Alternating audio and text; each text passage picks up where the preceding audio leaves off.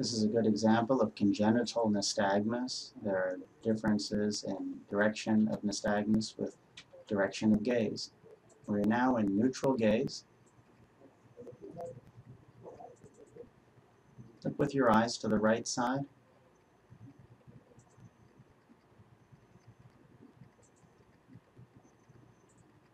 More to the right side.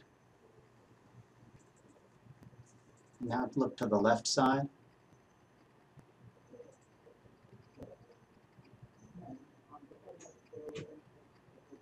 Quite a lot to the left side.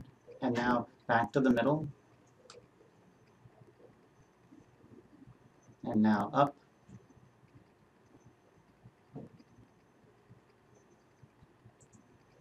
And this is a lot of nystagmus for someone to have with no symptoms. Now look straight ahead. And, and now we're going to apply some visual fixation.